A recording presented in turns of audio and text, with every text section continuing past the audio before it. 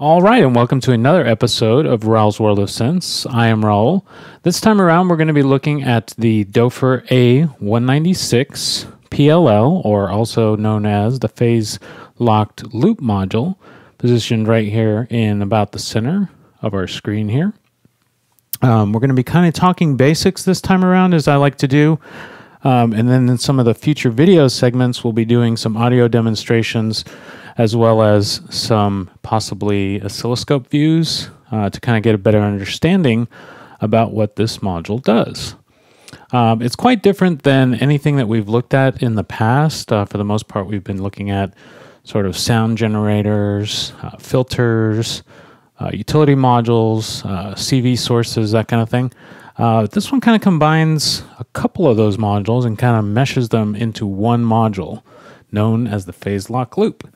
Um, there's three very distinct sections of this module, and uh, we're going to kind of go into each one of these different sections here as we're moving along um, through this basic section.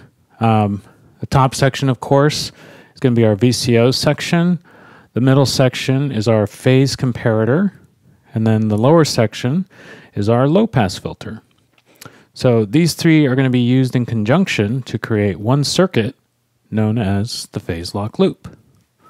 So without further ado, let's go ahead and jump right into our basic segment and uh, do a little bit of exploring in this module. Um, in the top section, our VCO section up here, um, the first thing you'll notice is it's got a waveform output right here, as well as a CV in right there. Uh, but the output is going to actually output a rectangle waveform. Now, uh, if you consult the manual, you can see that the uh, frequency range of this output is going to be between 2 hertz and 100 kilohertz. Now, that's overall frequency range. Um, it has three range uh, areas that you can set it to. Over here on the left hand side, you have the low range or sub audio. And then in the center, you have the high range or audio range. And then over on the right, you have the mid range, so kind of middle frequencies right there in the module. Um, and for the most part, that part is pretty straightforward. It's very similar to what you would have on a uh, VCO or even some of the audio rate LFOs that you've seen in the Doepfer system. Uh, the output of this particular section here is actually normaled to the phase comparator input right below here. So that means that when nothing is plugged into this input here, that this output is going to automatically be feeding into the phase comparator section. Um, and it will be used as part of this kind of phase comparator section here, but we'll talk a little bit more about that a little bit later. Uh, you can see that indicated actually if you look pretty closely at uh, the module here. There's an arrow pointing straight down from the output right here, going right down into input number one right here in our phase comparator section. So there you go. Uh, the offset control up here in the top section is going to allow us to control the maximum frequency of our VCO. This is kind of still going to allow us to set the range, but this is going to allow us to adjust the maximum frequency of that range that we set it to. The CV input up here at the top is going to accept between 0 and plus 5 volts, so primarily only positive voltages at this CV input right here. And uh, if no CV is actually input from here, then the control voltage is actually going to be coming from the low pass filter at the bottom, as indicated by this arrow here that sort of emits out from the output of the low pass, goes up, and then points right to the CV input right there. So that's meant to kind of illustrate that point right there. And so for the most part, that's going to actually take care of our VCO section up here. Pretty straightforward for the most part. Now, we're going into the phase comparator section. This one's a little bit more uh, detailed and sort of expansive here as we're moving along.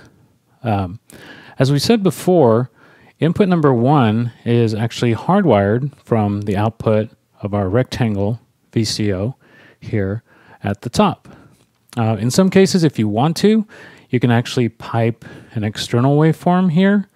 And if you do, then the top section will then be kind of broken and will no longer go into the phase comparator. Um, but what I was going to say about this is that input number one is always going to be the waveform that is going to be doing the locking, if that makes sense. Um, it's going to be locking its phase. So whether it's the rectangle wave or let's say another output like a triangle wave or something like that, it's going to be locking its phase to the signal that's input here at input number two. So when we get a little bit further into some of the audio demonstrations and uh, maybe some of the oscilloscope views, uh, we'll get a little bit better of an understanding about what exactly is happening at that point. Uh, but for now, let's just know that input number one, for the most part, is going to be locking to another signal or some kind of external signal uh, coming in here at signal in, uh, labeled number two. Now, right above in the top section of this phase comparator, it's a little bit dense right here, but uh, there's a little LED right here. And when that lights up, that's going to indicate to you that it is locking to phase. So the behavior or the style or you know the results that you'll get from the locking accuracy or however you want to kind of understand it or kind of explain it um, is going to be adjusted by the three types of phase comparators here. You have one, two, and three labeled right there. Now, if you look in the manual, it goes into a little bit more detail about what they're actually called. And I'll go ahead and name them, but I'm not going to go into too much detail about what each type of comparator actually does, um, other than to mention that each one of these three modes is going to actually give us a different timbral result as we're feeding different sound sources into this circuit. Uh, mode number one over on the left is going to be the exclusive or gate, also known as the XOR uh, phase comparator. Number two in the center is going to be the RS flip flop phase comparator. And then number three in the manual is labeled as a more complex digital network comparator. So there you go. As we're moving along, just kind of know that as a reference, or if you want to pull out the manual and check it out as we're flipping through modes. Um, I invite you to do so. So, why would you use one over another? Um, as much as I could get of an explanation of that particular thing in the manual, um, one thing it kind of stated was there is a fair amount of experimentation that is going to go into using uh, the phase lock loop circuit to get interesting and uh, kind of uh, varied results if you want to think of it that way.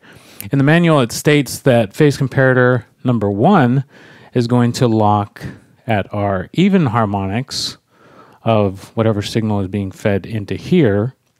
Uh, and then again is the exclusive or the gate or XOR uh, phase comparator.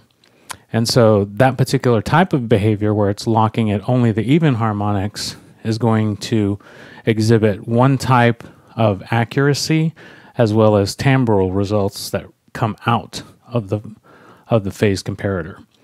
Now, um, as we move through some of these other modes, uh, which I have done a little bit of experimenting with, uh, you will begin to hear a little bit more of the type of differences and even some uh, varied differences from the actual locking behavior that will be exhibited from each one, some more accurate than others.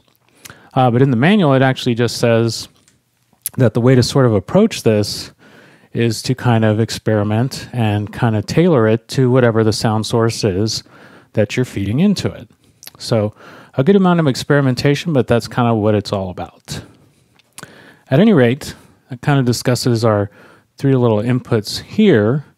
Um, let's see, the only other thing I wanted to mention here is our output here of our phase comparator section is actually hardwired to the low pass filter, as noted by this arrow right here. Says it's going straight down into the bottom section of our low pass filter. But right here at this point, it could be patched out to another external filter if you chose to do so, or also to a slew limiter.